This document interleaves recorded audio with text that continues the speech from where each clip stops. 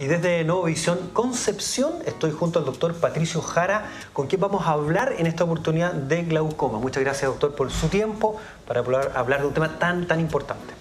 Doctor, ¿cómo podemos definir el glaucoma?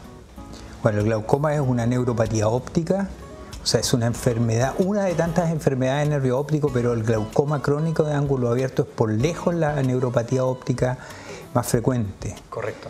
Eh, como característica principal, el glaucoma es asintomático. El, glaucoma crónico de ángulo abierto, que es el más frecuente de todos los glaucomas, es asintomático. Correcto. Entonces el paciente puede ser portador de esta enfermedad, esta grave enfermedad, y, y no saber que la tiene. ¿Y qué es lo grave de esto?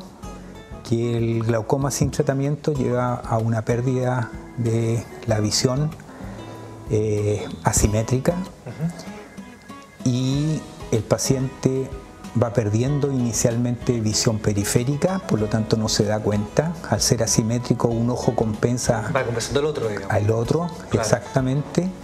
Y en estado ya bien avanzado de la enfermedad, eh, produce ceguera. ¿Puede llegar el glaucoma no tratado a la ceguera? Es una causa importante de ceguera en todas partes. Correcto. Ahora, si entendemos que no da síntomas específicos, que esto empieza a aparecer, ¿no es cierto? Y el otro ojo empieza a compensar. ¿Cuáles son las llamadas de atención? ¿Cuáles son los factores de riesgo? ¿Cuáles son las señales en las que tenemos que estar alerta para llegar a tiempo? A ver, eh, lo más importante es el examen periódico de los pacientes. O sea, que, el, que el, el, paciente sea examinado por el oftalmólogo y el, dentro del examen oftalmológico, nosotros siempre examinamos la cabeza del nervio óptico, que es donde se ubica la enfermedad glaucomatosa, y ante signos eh, propios de esta enfermedad, que tiene unas características que nos orientan a la enfermedad glaucomatosa, e inmediatamente hacer los estudios. No siempre el glaucoma crónico de ángulo abierto tiene la presión alta. Es una cosa importante porque la gente pide que uno le, tome la presión, le tomamos la presión a todos los pacientes. ¿Cómo está mi presión ocular? Claro, lo primero. Y resulta que el paciente puede tener una presión eh, normal. Hay casos de, de paciente con presión baja y ser portador de la enfermedad glaucomatosa. Por lo tanto, antiguamente ese, este parámetro de hipertensión ocular ya no está en la definición de la, de la enfermedad glaucomatosa, de este tipo de glaucoma. ¿Ya? ¿El tener antecedentes, por ejemplo, familiares? Muy importante, uno siempre parte por una historia eh, y aparece el dato, ¿no es cierto?, que la mamá, el papá, la abuela, personas ciegas en la familia o personas que están recibiendo medicación antiglaucomatosa o lo que ya es raro, eh, pacientes que han sido sometidos a cirugía, eh, procedimientos, hay diferentes técnicas quirúrgicas, pero básicamente son cirugías filtrantes. Pero todo eso es que, es que ya llegamos tarde, o sea, lo importante es el diagnóstico precoz. Es el diagnóstico precoz. Hecho el diagnóstico, ¿no es cierto? Eh, teniendo individualizado ya este, este problema, ¿cómo es el tratamiento, doctor, hoy día? Eh, desde hace unos años atrás aparecieron unos fármacos que modificaron la historia del glaucoma, que son los, los análogos de las prostaglandinas.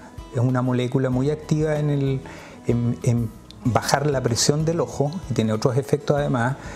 Y la verdad es que es un tratamiento extraordinariamente bueno para frenar la enfermedad, pero no es garantía eh, que el paciente estando bajo tratamiento uno frene la enfermedad, por lo tanto los controles periódicos son, eh, vitales, vitales. Hay gente que piensa que porque ya están con gotas están exentas del daño glaucomatoso y aún eh, con estos buenos fármacos el paciente puede seguir perdiendo campo visual y uno tiene que estar periódicamente evaluando, reevaluando eh, de por vida, porque esto es una enfermedad de curso crónico, no es una enfermedad que uno se libre de, ella con los tratamientos. Exacto, nos pasa los mismos conceptos, doctor, a propósito de otras materias, nos pasa con el tema de la diabetes, de la hipertensión, que son enfermedades crónicas, los pacientes tienen que tener un tratamiento permanente y no sentir que porque están tomando los medicamentos esto se solucionó. Absolutamente, es parte de la educación